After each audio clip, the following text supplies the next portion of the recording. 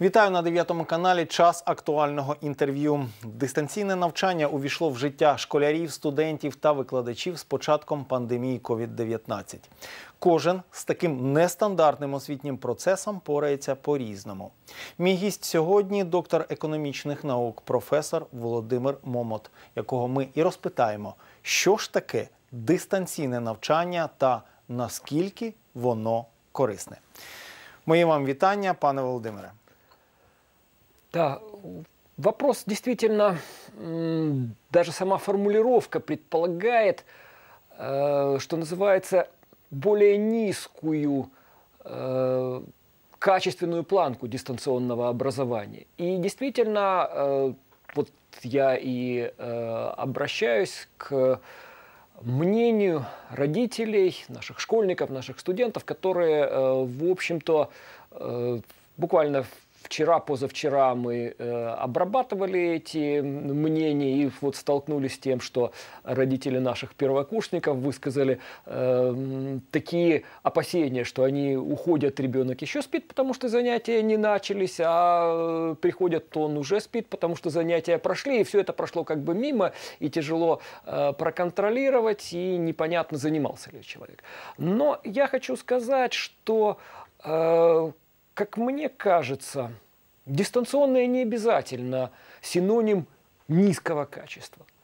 Э, Вот мы в университете Альфреда Нобеля начали, ну, во-первых, мы начали действительно работать полностью в дистанционном формате буквально на второй-третий день после объявления карантина. Что нам это стоило? Это отдельный вопрос, потому что, да, действительно, это ресурсоемкая вещь. Но э, самое главное, что здесь становится центральной фигура учителя, преподавателя. Если преподаватель отдается, любит свое дело, готов тратить в несколько раз больше сил и души э, своей, тогда это все работает.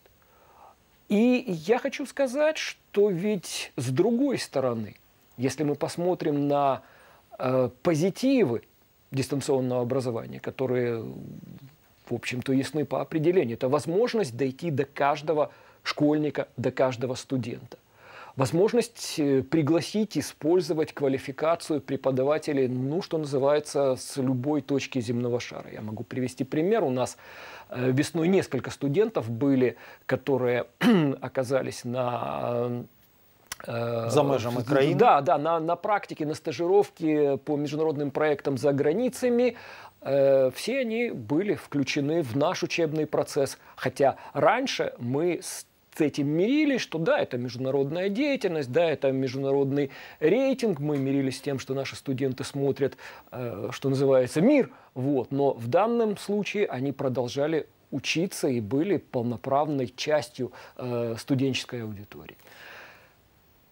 Каждый раз можно на каждом занятии, э, готовясь, адаптируя материалы, можно использовать те инструменты, скажем, интерактивные опросы, интерактивные презентации, индивидуализованные презентации, которыми э, сегодня живет интернет.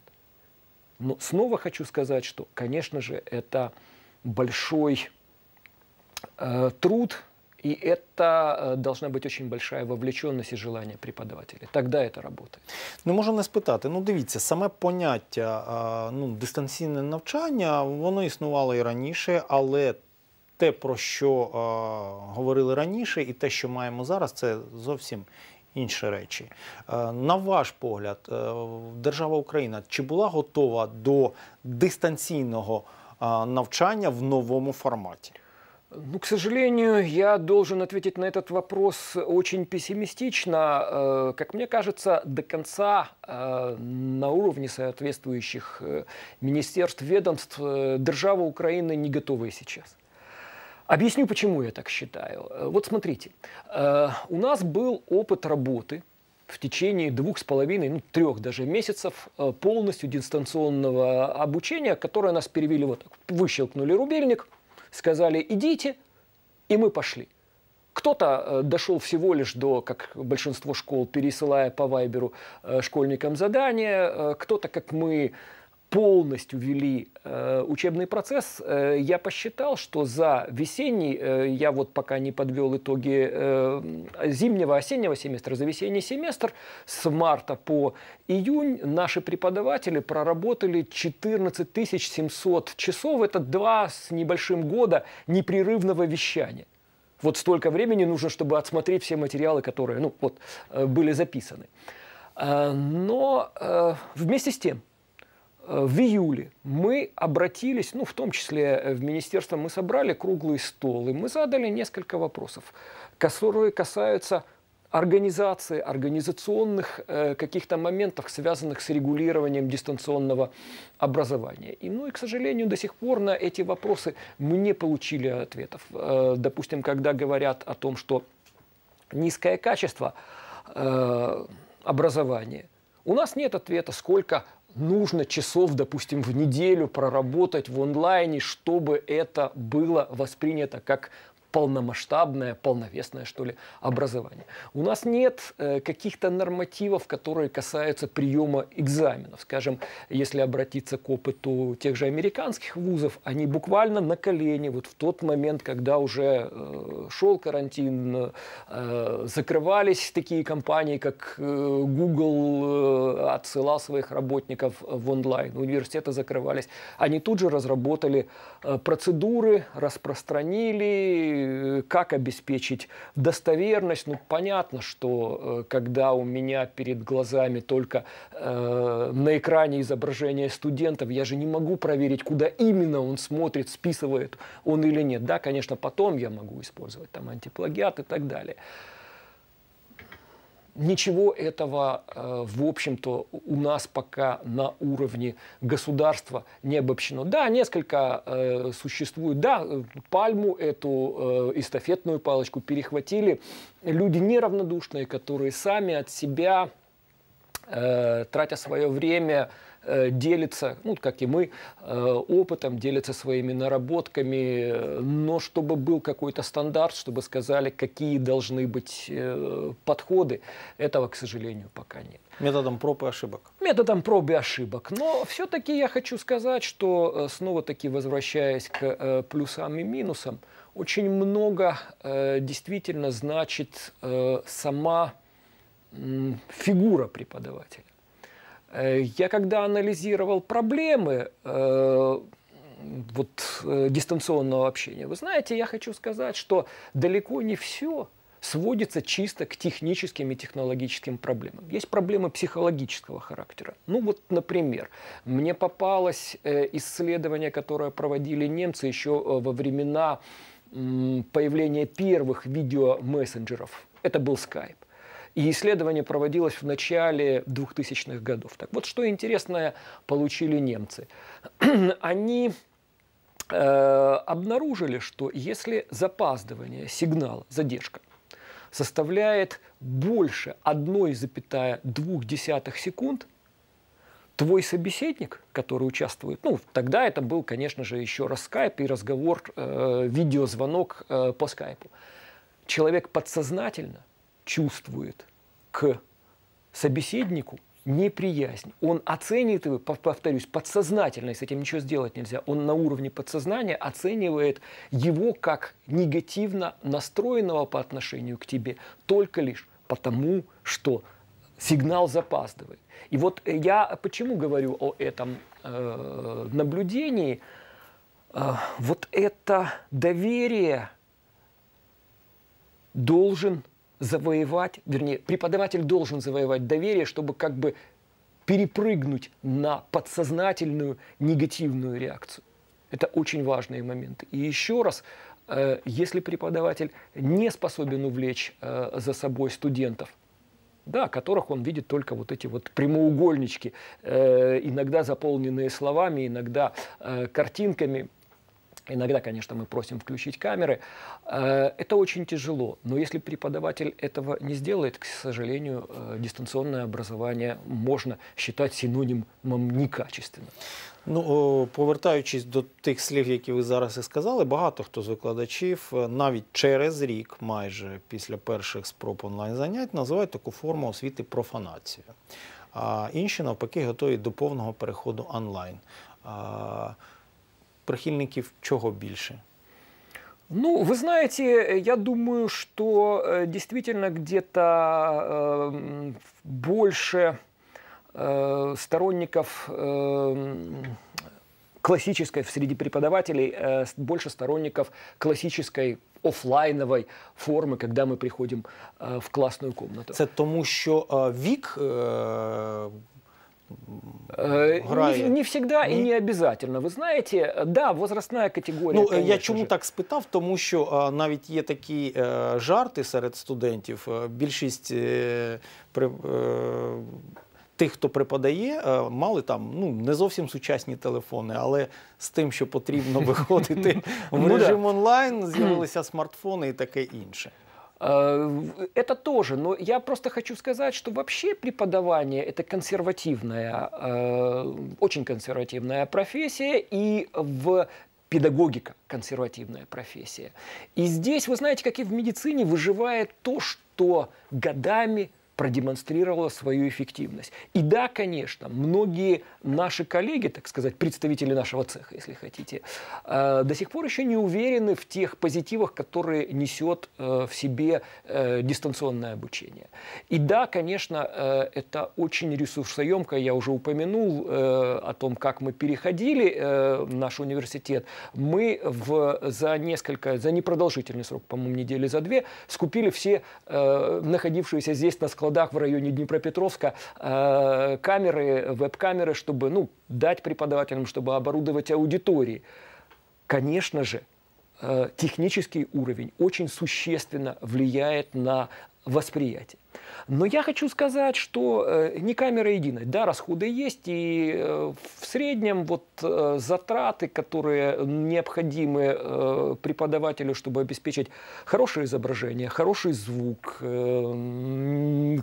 картинку, которая будет идти без тормозов, они оцениваются где-то весьма немаленькие, в районе 500, 500 тысяч долларов. Э, Если действительно покупать все дорогостоящее надежных брендов.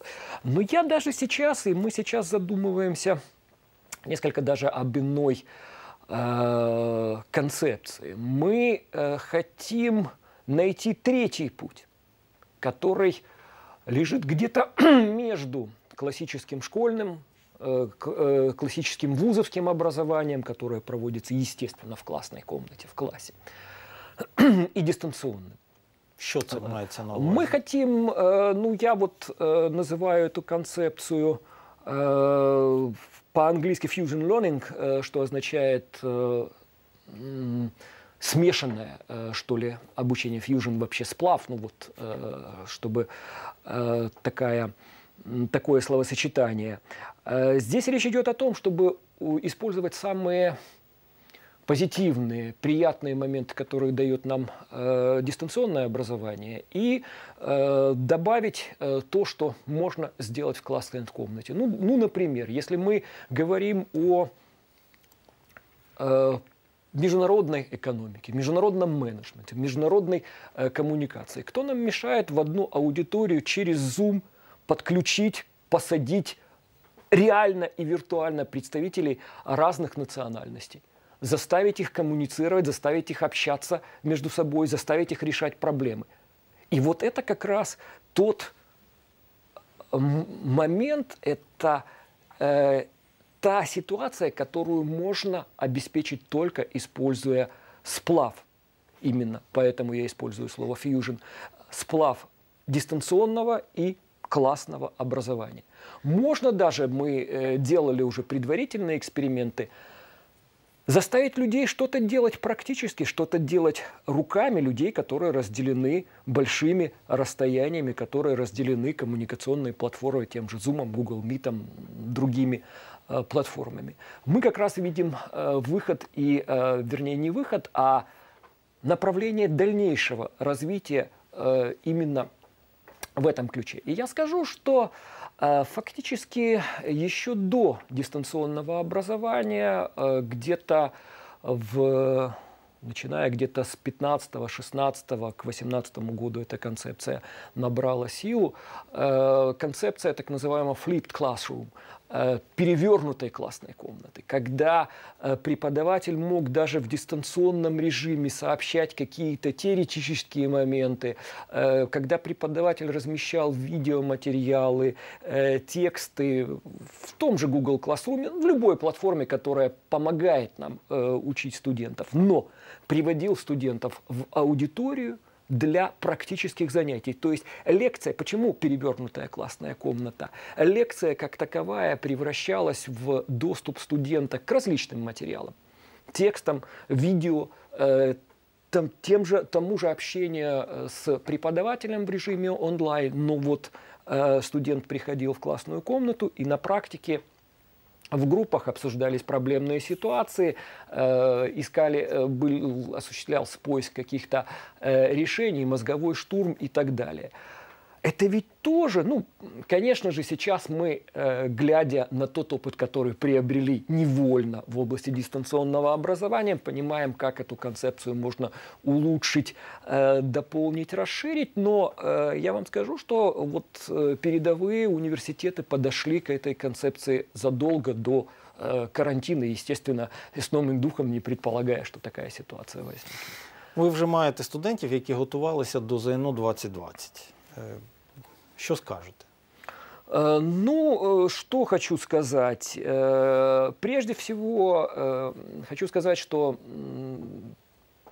они прошли, что называется, жестокое выпробование этим летом, потому что Э, да, действительно, это был шок, когда сроки переносились, когда было неизвестно вообще, в какой форме будет э, проходить ЗНО и так далее. Я не могу сказать, что на подготовке их, на том, э, ну, на качестве тех студентов, которых мы получили в этом учебном году, 2020-2021, это как-то серьезно сказалось. Я скажу о другом. Мы, скажем, наш университет набрал больше наверное, за всю историю наибольшее количество студентов, прежде всего потому, что в подавляющем большинстве люди сделали вывод за то, чтобы остаться здесь, в Украине, и получать образование здесь, а не за рубежом. Вот это тот вывод, который я могу сделать, э, фактически анализируя последствия или итоги того, что ЗНО Першого проходил. року. Да, да, и ЗНО року. проходил в таких импровизированных, что, что ли, условиях. Ну, ведь понимаете, ЗНО – это инструмент, с помощью которого мы меряем результат. Но никак не этот результат обеспечен. Результат-то сложился за те 11 лет, 10 э, с половиной лет обучения по классической схеме. Да, в этом году э, ЗНО, на ЗНО придут люди, которые уже фактически год целый проучились. Э, я хочу, э, должен упомянуть весьма пессимистический взгляд на вещи, который принадлежит Биллу Гейтсу. Еще в апреле месяце было большое интервью на его же компании MSNBC, Э, где затрагивались вопросы дистанционного обучения, и он как э, истину аксиоматическую, не требующую доказательства, упомянул, что вот в сентябре в вузы придут люди, которые получили плохое образование. Почему? А потому что заканчивали свое обучение не в дистанционном режиме. Вот. Но все-таки я э, решусь э, поспорить, снова-таки заканчивалось обучение в дистанционном режиме, получили то обучение вот эти вот э, поколения все-таки в режиме классическом.